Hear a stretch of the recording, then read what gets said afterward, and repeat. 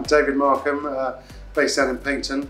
I run the Blue Seafood Company, the largest crab uh, processor in the UK, and uh, more recently the Crab and Hammer restaurant on Paignton Harbour. Oh, we've had the Crab and Hammer open for about a week, so not very long. The, the opening was challenging, we had a fantastic first night with lots of friends and family, people who'd helped out. We've got a great team around, there's a lot of great youngsters out front, and uh, the team uh, have stepped up in the kitchen, so we've got a, a good team for. So this, this week has been amazing, it's building all the time.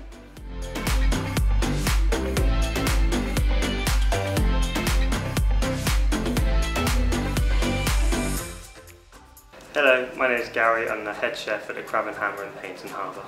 We're at the forefront of changes being made in animal welfare in the hospitality industry here at the Crab and Hammer. The Crustastun works perfectly in my busy kitchen because it allows me to dispatch of the crab humanely in less than one second and continue on to the next process of cooking.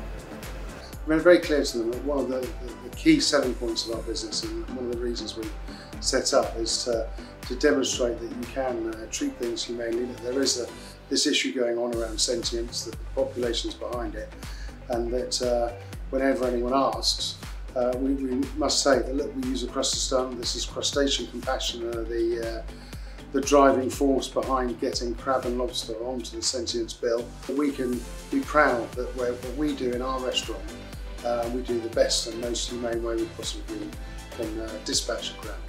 We've very quickly started adopting the Crustastun technology um, from, a, from a humane perspective mainly. And when we opened the Crab and Hammer Crab Shack style restaurant, it was just a natural progression really to make sure we had the smaller uh, restaurant version here.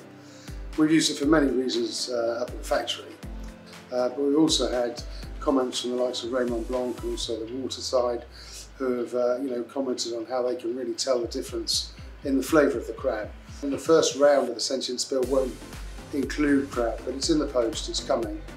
And uh, we could say, well, we stun our crabs, which the likes of Crustacean Compassion, which is a, a big group that are pushing this sentience bill, trying to get the, uh, the crabs and lobsters on the sentience bill, uh, a new one later.